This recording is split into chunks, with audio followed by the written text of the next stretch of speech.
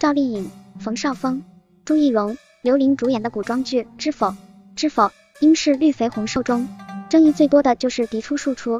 家里当家主君正妻所生为嫡出，有着继承家业、承袭父业等诸多优越感；妾室陪房所处为庶出，低人一等。特别是大户人家内宅中正妻妾室之争不断，嫡庶尊卑确实占首要位置。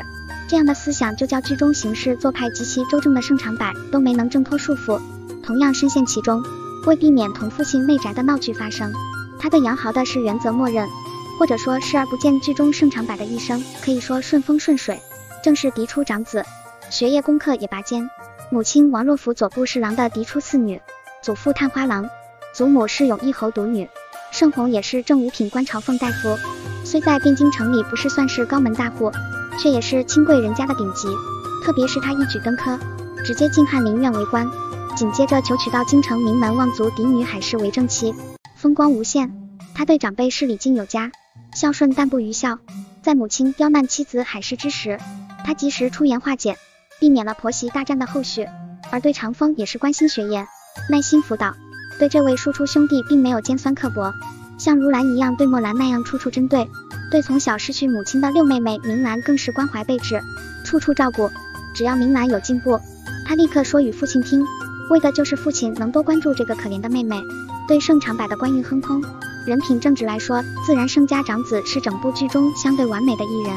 可就是这样一个人，也跳不出嫡庶尊卑的圈。这一点在他们在庄学究的辩论课中，他就已经表露出心声。当时的辩题为立嫡长乎？立贤能乎？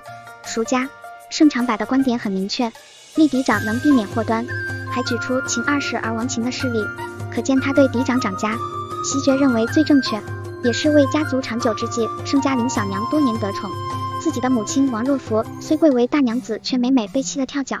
再到最后，林小娘教唆女儿为压倒正式女儿的身份地位而做出有辱门楣的事情，差一点就毁掉盛家所有女眷的声誉。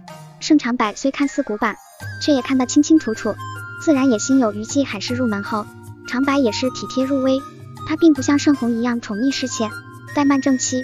相反，在海氏被母亲教规矩的时候，也会及时化解，最后只是把身边伺候的丫头杨豪纳入侍妾，再无其他。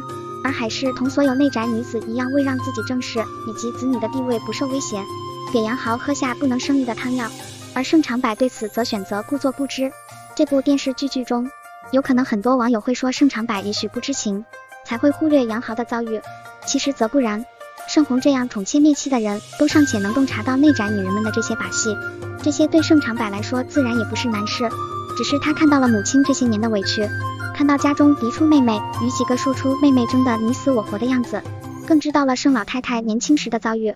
不论是朝堂还是家宅内嫡庶之争不断，而他心里也是嫡长有序才是治家有方之本。正如明兰所说，大丈夫当中君爱国，不要做无谓之争。